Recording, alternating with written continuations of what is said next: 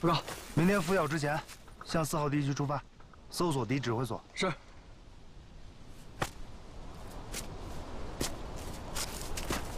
全体都有，目标四号地区，准备出发。全体都有，列队。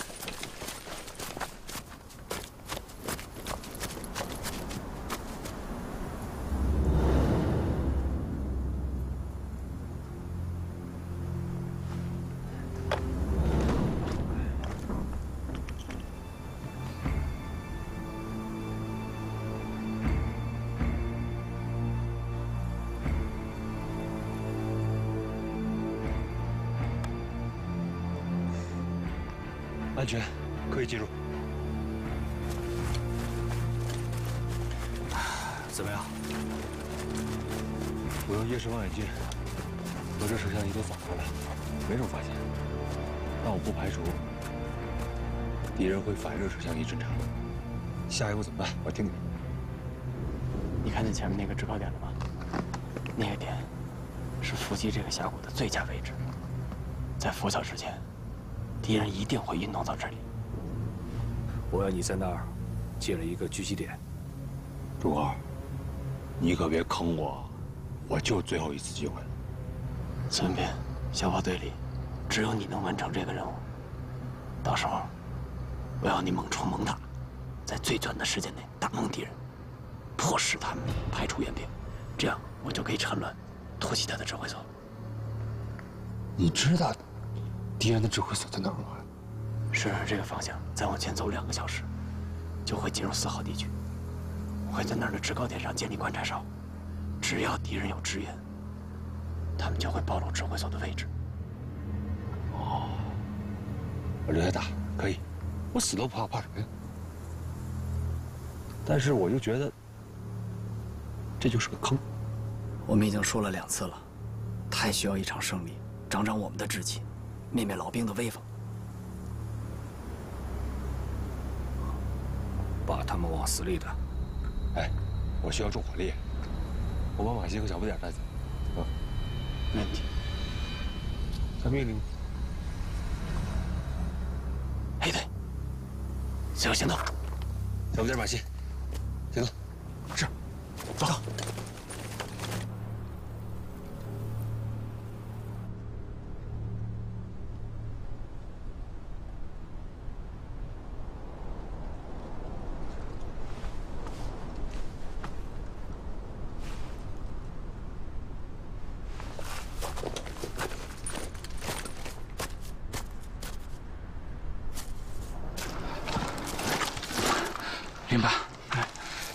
宿都没睡了，我替你监控。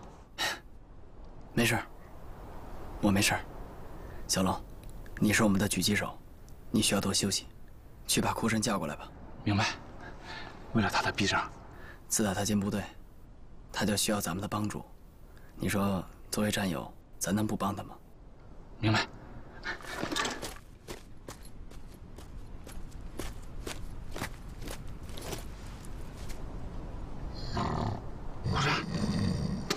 别睡了，快起来！来了，来了！哎呀呀呀！什么什么玩意儿？没事儿。啊，林班一宿没睡了，赶紧去他伤口呢，去。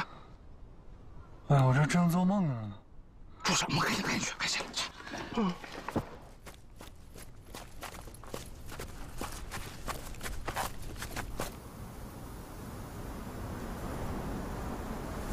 斯文斌，你还有一次机会。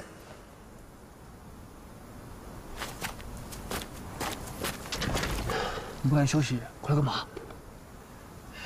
我不能大意。昨天晚上，我从一杯宿营走过来，用了多久？差不多两个小时。距离时间不良，走得慢。敌人拂晓出发，走到这儿，差不多半个小时吧。嗯。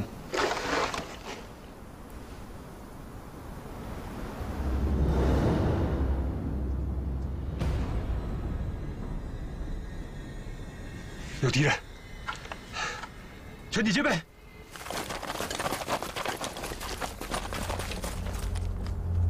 如果让他们占领制高点的话，我们从西面过去。就得仰攻了。还有半个小时，这太阳就更刺眼了。我们根本就发现不了目标，基本当活靶。这么新鲜，准备打。通知弟兄们，从左到右依次排开，一个瞄一个，听我口令，一起开枪。是。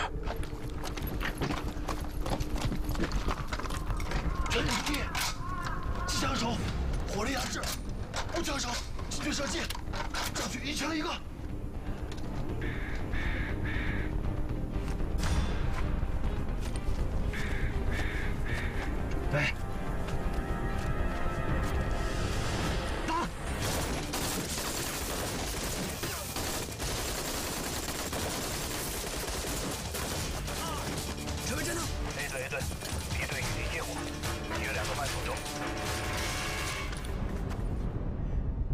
孙文斌，孙文斌，加强火力，加强火力，一定要把敌人挡在垭口以外，掩护我向指挥所运动。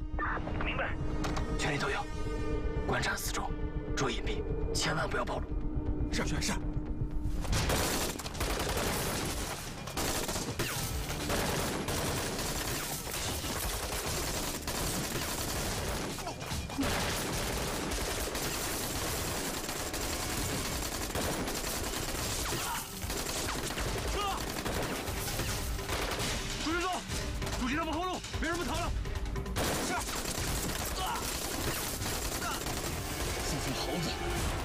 弄死他们！少废话，给我打！脸上不行就扫，把增援给我打出来！团长，这么下去一定会陷入僵局。要不我先侧翼迂回一下？我主意，马谁？走！一个小不点，迂回高超，行动！走，我走。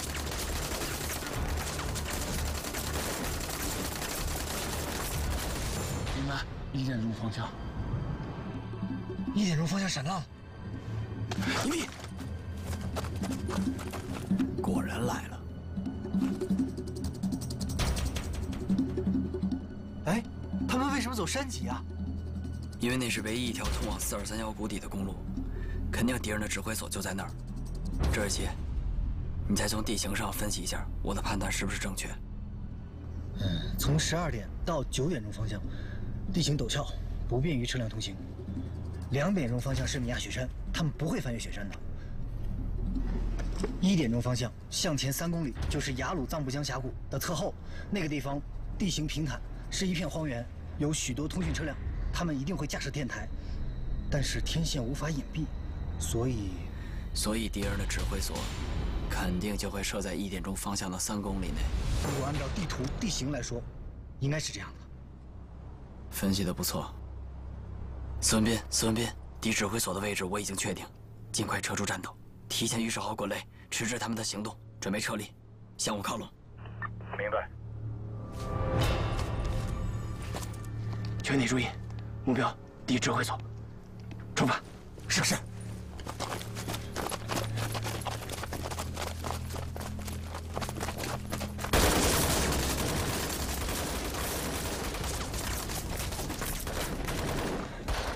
班长，给我完整。你还打得不错，接着去支援。好，这。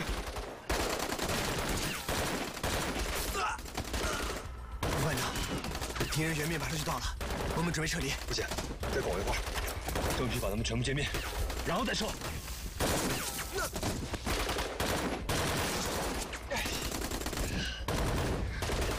有意见？林班，让你负责批队，我一定服从你的命令。你是不是不相信我？不相信我能把他们全部歼灭？敌人来了两个战斗小组，而且他们还携带有重武器。可是我们现在地势好，居高临下。副班长，如果他们携带有取射重武器，比如迫击炮，在我们自动榴弹发射器的射程外吊射我们的阵地，你觉得我们还有优势吗？说的也有道理。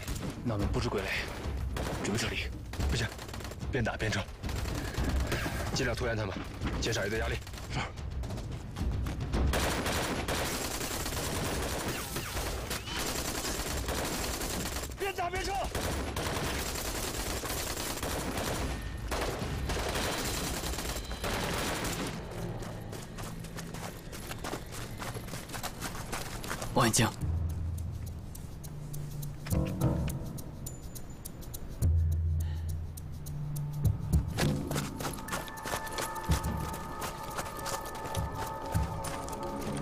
小龙，怎么样？帐篷里边的情况不明，只看见外面有三名警戒哨。无线电波侦测仪显示，信号很强大，应该是营级指挥所。小龙，你带两个人清除警戒哨，清除之后马上通知我。明白。我怀疑指挥所是个诱饵。我知道他可能是诱饵。我们的意图是攻点打援，重点在打援歼灭他们的主力，哪怕这是诱饵，你们也要坚决给我打掉。是，去吧。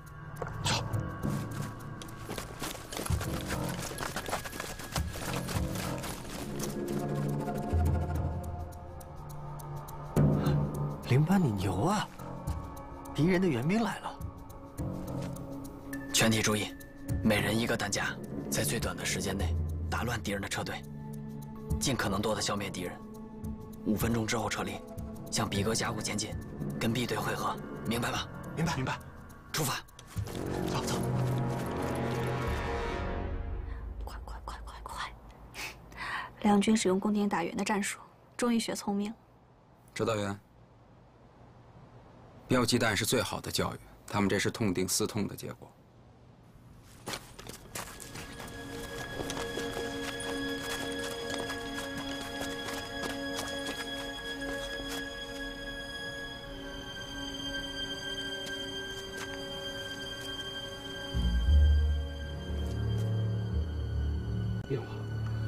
我负责十二点方向，你负责一点方向，你负责十一点方向。行，出发。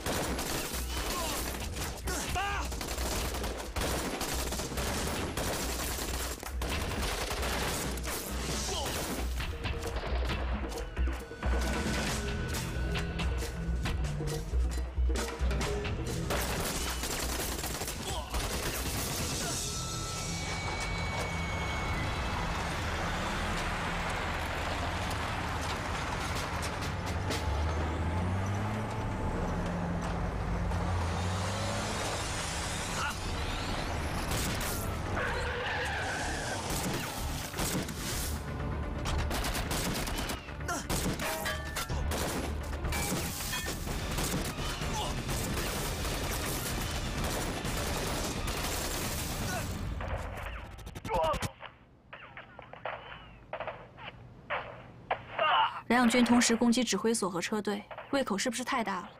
我看战术使用是得当的，打指挥所只是佯攻，重点在歼灭车队。梁永军真的能把这两口吃下来，他的牙齿也长硬了。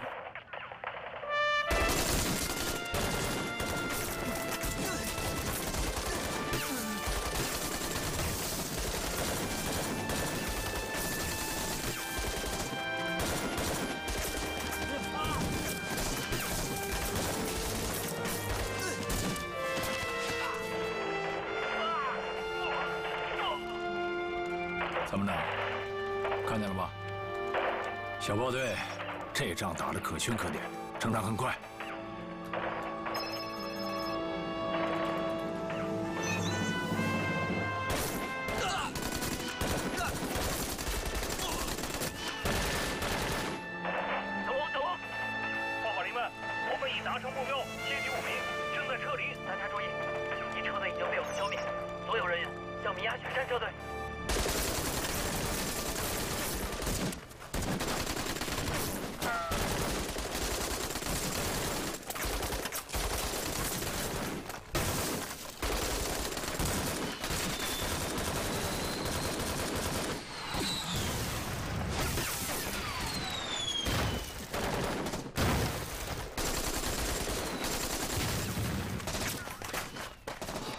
我们被炮火压制，蓝军开始反击。向米亚雪山撤退，在五七七五高地汇合。明白。你下去撤，我来掩护。你还有一个机会，牺牲不起。我留下。你是毕业的指挥官，那就毕业负责。快走！因为试射已结束，马上就要开始攻击了，再不走，谁也走不了。你自己多加小心。废什么话，快走！兄弟们，都没事吧？没事，站着，放心。走，带队车，我是，带注意，撤，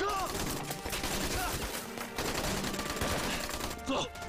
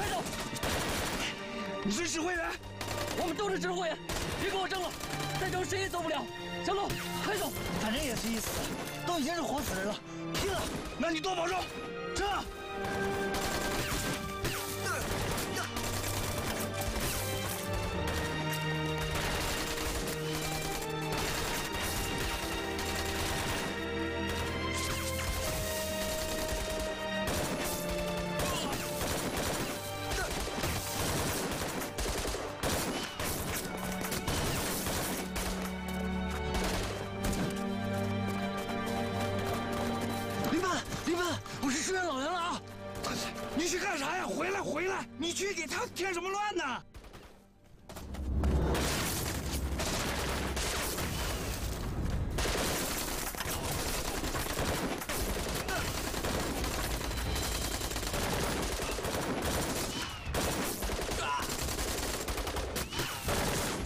你怎么来了？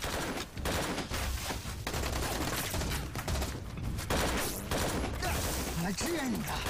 胡闹！不服从命令，你会被赶出小豹队的。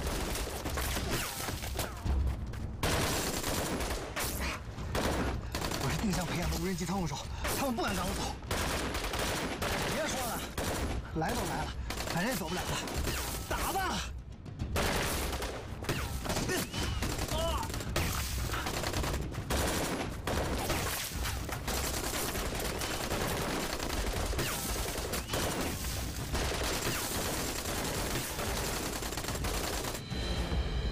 小军，报告小豹队情况。报告旅长，全歼蓝军主力，并摧毁营级指挥所一座，取得重大胜利。所剩人员撤向米亚雪山，小部队转入高山，耐寒，抗缺氧训练。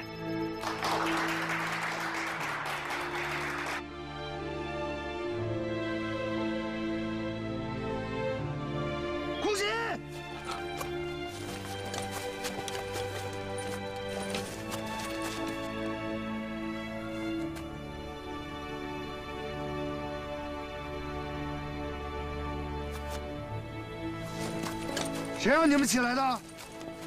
我说过多少遍了？训练就是实战。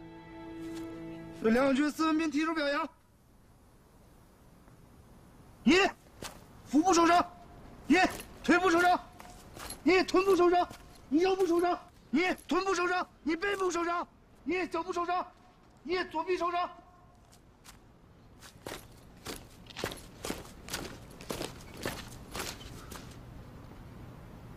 还愣着干什么？开始爆炸呀！作为山地侦察兵，即使受重伤，离队了，也要独自生存下去，等待救援部队的支援。还有，你们占的这片土地是敌阵区，敌人很快就会搜索过来。在高原上，夜间温度降至零下二十度，到底是坐以待毙，还是找地方隐蔽求生存。你们自己选择。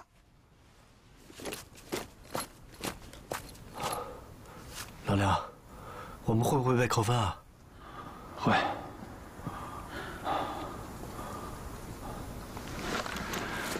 大家注意掩体之间相隔一百米防止被敌人发现之后一锅端。你用我这个掩体。再找一个地方。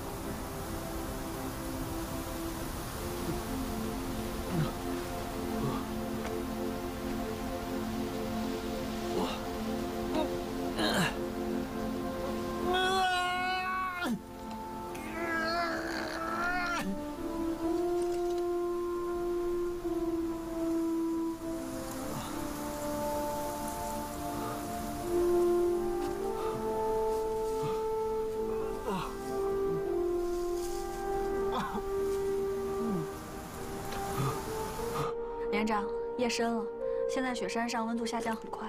冯教员，肖队长，林指导员，士官长，士官长，收到，请讲话。收到，我是石馆长黄大鹏，请讲话。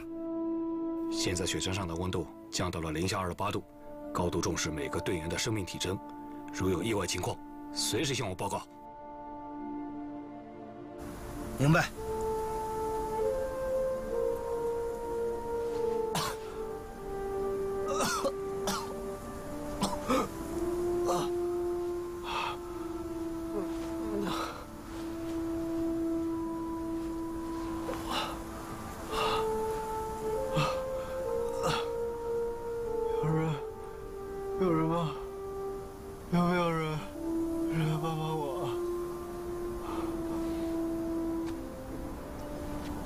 怎么了？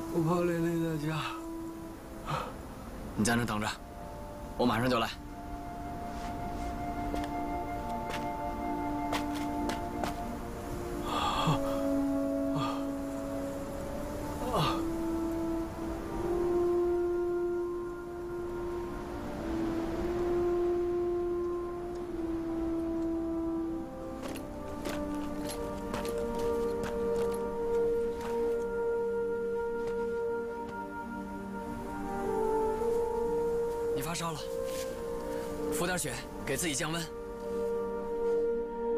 多喝水。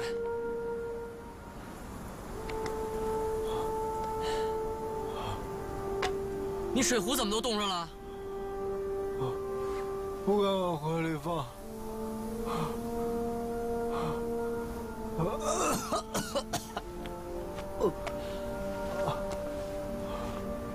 喝我的水。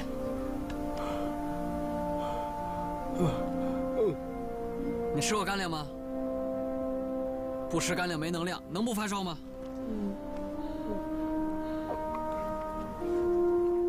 我吃不下。哦，来，自己拿着吃。等我一下，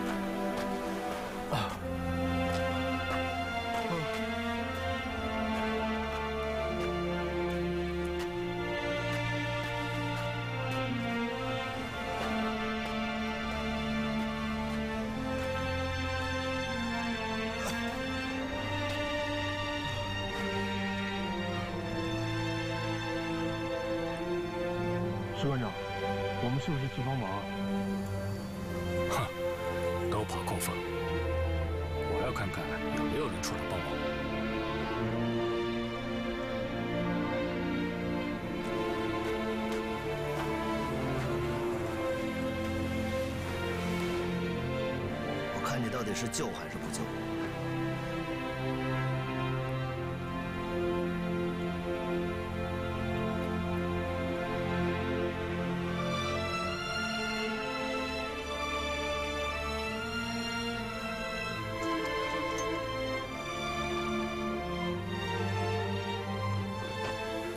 这就对了。哎，这小子还不是无可救药吧？孙文斌，两次的机会可不多呀。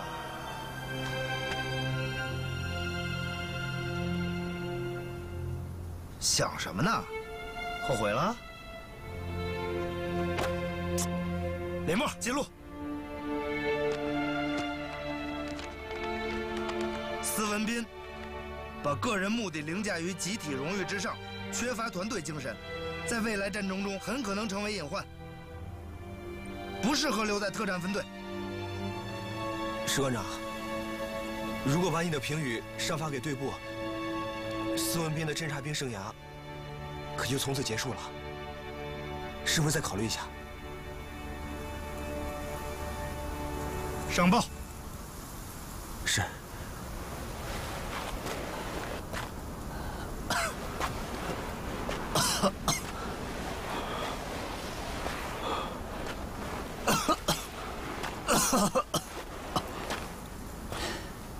老梁，我又拖累你。大姐，那咱们就说定了。我回去以后啊，就草拟合同，等上级批复了以后，咱们就签订长期的供货合同。这部队办事啊，就是利索。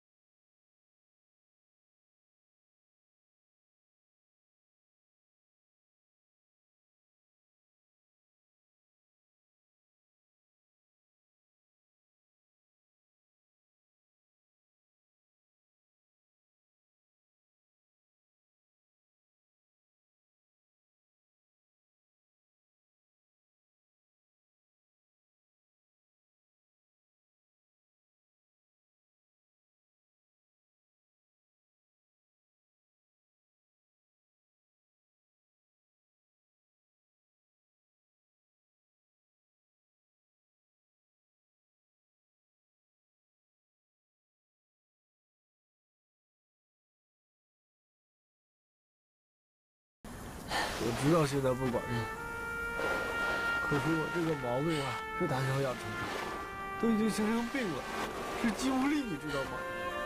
你这个毛病，你这个……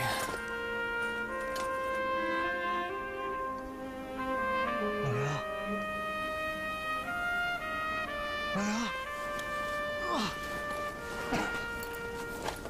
老梁，老梁，你怎么了？老梁，你怎么了？老梁，梁永军，梁永军。于老弟，你放心吧啊。行了，于总，您就不用送。老旅长，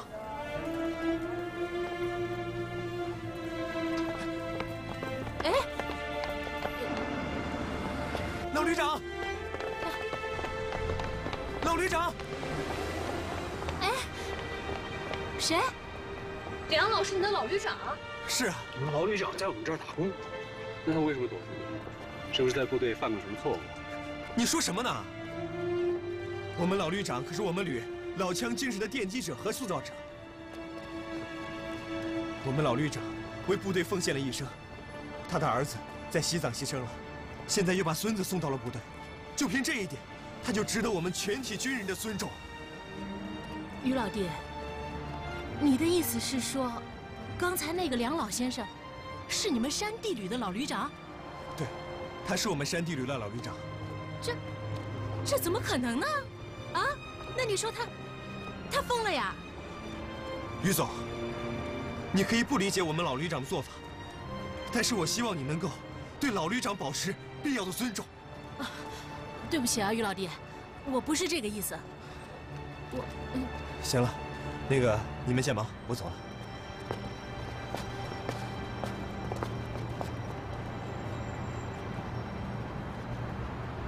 喂，报告参谋长，我看到老旅长了。哎呐！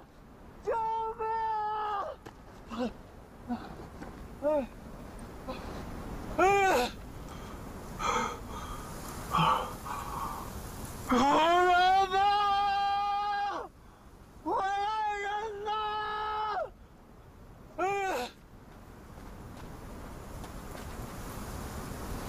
徐团长，我们是不是下去了？等一会儿，周瑞奇习惯性的依赖别人，看看这小子要怎么做。可这里是高原，得了高山病可不得了。架卫星通讯设备。这。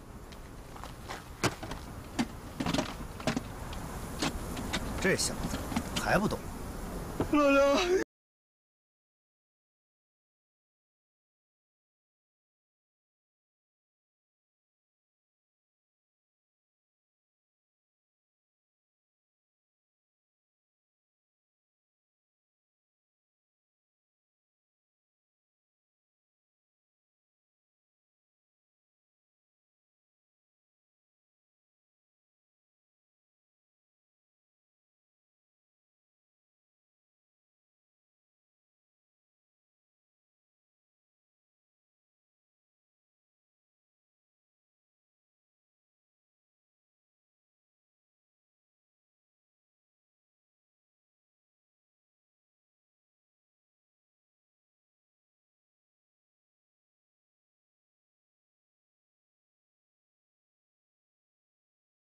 讲。高山阻拦信号，请求发送梁永军、周瑞奇的生命体征。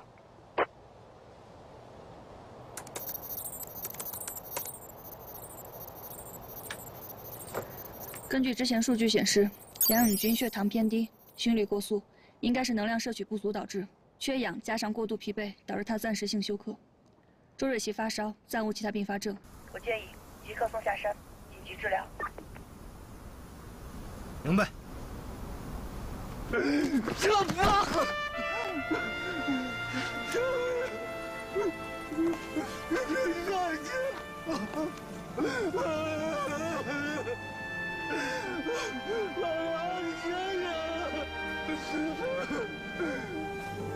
哎，军事素养可以啊！我还以为啊，他只会蹲在那儿哭呢。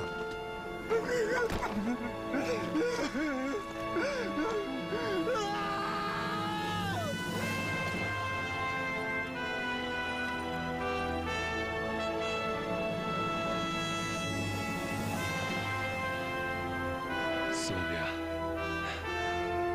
人有几条命啊？一条。那我现在有几条命啊？两条。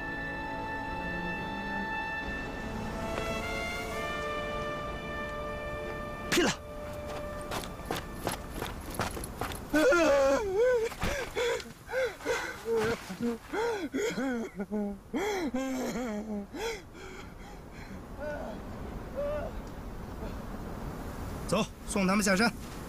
哎，士官长，再等等。等什么等啊？再等就出人命了。走。士官长，司文斌，夫人，好样的，终于站住！这才是一个山地侦察兵应有的素质。哎，夫人，醒醒！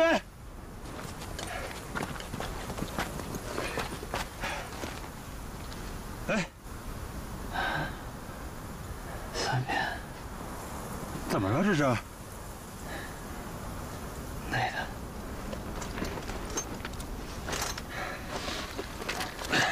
来，拿着枪。三边，扶起来，不能行。躺着吧，我送你俩回去。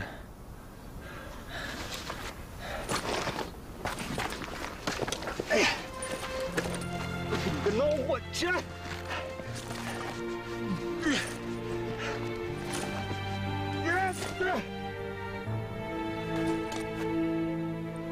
司文斌，现在该拿到小豹队的臂章了，你当之无愧。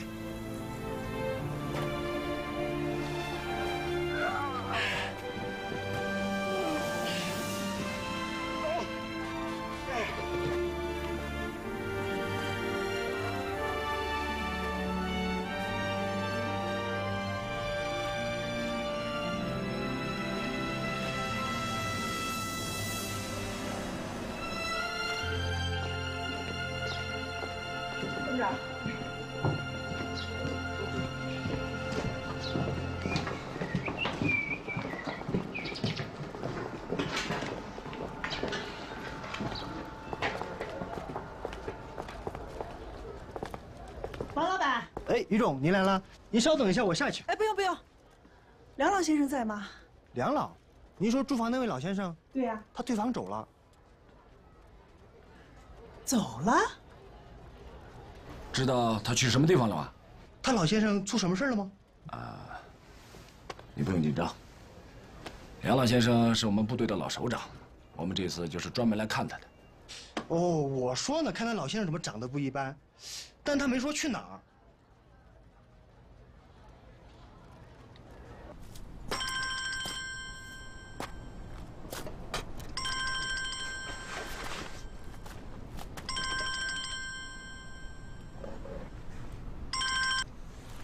喂，老旅长，是我。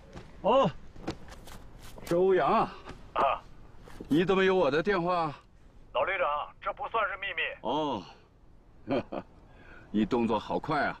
我动作再快也没您快。您在哪儿啊？我过去接你。欧阳，我这次来啊，主要目的就是担心梁永军。这小子，脾气随我，死犟。哦，梁永军啊，在小豹队表现得非常好，我们准备给梁永军压压担子，让他当班长。很好。像梁永军这样的士兵啊，就得压重担子，让他知道什么是军人的责任。烈火重锤才能炼出好钢。我看了你们小豹队的训练，对提高部队的战斗力有重大的意义，非常好啊！我给你们打八十分。多谢老旅长鼓励，我会尽快的在全旅推行这种训练模式。教练，到。你身体怎么样？报告队长，我没事儿。啊，归队继续训练。是。那我也要去训练场，我送你吧。那你进去看吧。啊，好。去吧。小队，局长，哎，怎么样了？哎，周瑞奇是因为误食了野生食物，有点肠胃炎，所以导致发烧。这梁永军嘛，食物不足，就加上那个体力消耗过大，血糖过低导致晕厥。不过俩人体格健壮，没什么事儿，再休息四十八小时就能出院了，不会影响以后的训练的，放心吧，小队。好，辛苦你了。孙斌，最近表现不错，我觉得你可能成为未来小豹队的战斗核心。别高兴啊，我说的是战斗核心。段委员，其实我知道，我是战斗核心，梁永军是指挥核心。一个指挥员一定要有非比寻常的凝聚力和智慧，才能更好的完成任务。你成长了，在军人眼里，战术无处不在。只有更好的了解和认识自己，才能在自己的人生道路上走得更远。明白。再送你四个字：无欲则刚。总教员，其实我也知道我自己的缺点，但是我有理想啊！我的理想就是进全军区最好的特种作战分队。小看齐。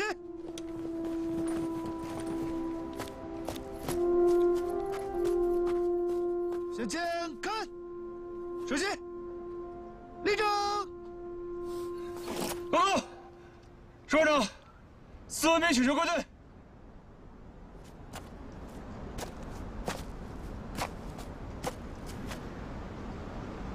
孙斌，到。你擅自离开潜伏点，违反了纪律，而且未完成高寒训练，两次机会都用完了，你知道吗？